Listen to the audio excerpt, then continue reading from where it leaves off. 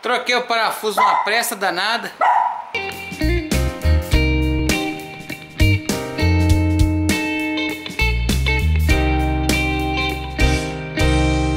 Gravei o vídeo aqui, um, minuto mais ou menos, perdi ele, não botei para gravar.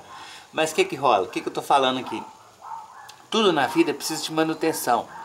Sua vida, seu relacionamento, sua casa, seus bichos, seu trabalho, sua moto, seu carro, suas roupas, seu cabelo, seu dente, por aí vai.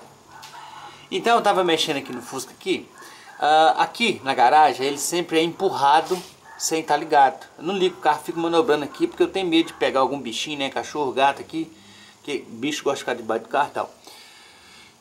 E aí empurrando o carro ontem, eu alinhei a direção dele para ele poder seguir reto e quando eu fui comparar eu vi que ele estava desalinhado.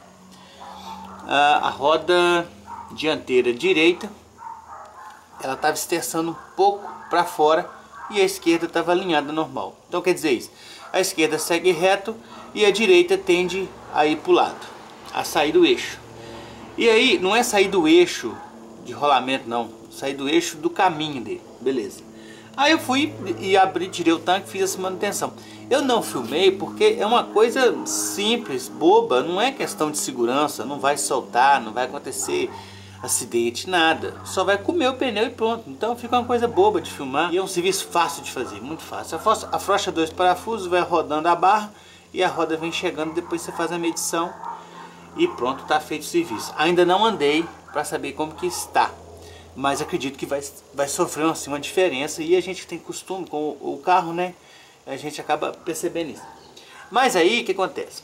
Quando, gente, quando faz isso, é de costume você dar um, uma voltinha, olhar as outras coisas e tal. E eu vi que falta a, a porca do amortecedor ali no eixo, na manga de eixo ali, a inferior.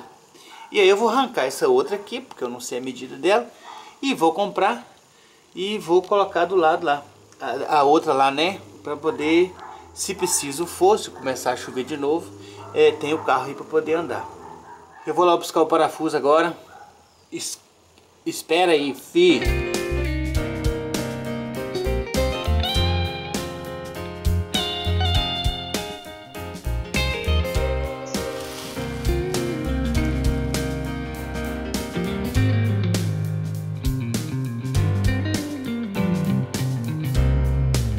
Comecei a gravar, acho que era 8 e meia, 9 horas por aí, mas só agora, 5 horas da tarde que eu cheguei. Ó. Kombucha, tá vendo? Quero ver se danado sair. Comprei a ruela. E aí agora eu vou lá colocar. A posição aqui é excomungada, mas tem que ser assim. Agora eu vou deitar e boa. Oh, oh, olha a parada lá, quer ver? Agora aqui, uma coisa que eu não gosto é que é carro velho é foda, porque nem sempre a coisa é tão legal. A porca é essa da coincide com a rosca, tudo certo. Só que não chega a rosquear nem a parte da da bucha, sabe? Esse é um dos problemas do carro velho. Tá? Por isso tem que ter mais atenção com ele, porque é, de repente tirasse no amortecedor, mas aí não pode, você vai danificar a bucha dele, é pior.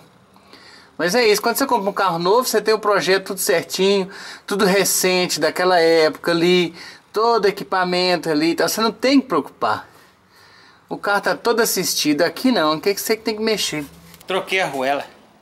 A, arruela que ficava entre o amortecedor e o E e o, a manga. Eu troquei ela, coloquei uma mais estreita aí, ficou legal. Mas quando a gente faz isso aqui, a gente anda aí um bocado de vezes ainda preocupado com aquilo, sabe? Aí quando você para, você vai lá e olha, vê se tá lá e até confiar de novo. É assim, filho. Carro velho é assim. Mas é isso aí. Aí que acontece? Uma troca de parafuso dessa aí, um serviço tão criterioso desse, eu acho que merece um joinha, cara. E eu não acredito que eu fiquei tanto tempo assim falando uma porca e uma ruela. A semana tá paga. Graças a Deus. Ó. Ah! Não pode fazer vídeo ruim mais também não. Tem que fazer, tem que procurar fazer sempre vídeo melhor. Esse vídeo de hoje aqui, ó, dessa semana, é, ficou meio, né? Porque parafuso, falar de parafuso. Mas não pode ter vídeo ruim não, tá saindo no portão que um dia o cara me chamou. Ô Gilberto, eu falei assim, é. Oi, beleza? O cara tava vendo seus vídeos lá, aí eu fiquei, eu fiquei com vergonha, sabe? Aí nós conversamos um tiquinho ali, deu tudo certo. Então tem que buscar fazer coisas sempre melhor. É manutenção, meu filho, manutenção do canal, tá entendendo? Tem que dar manutenção em tudo, em tudo. Vou ficar por aqui, obrigado. Semana que vem, se Deus quiser, tamo junto de novo. Ó, Alessi. Linda.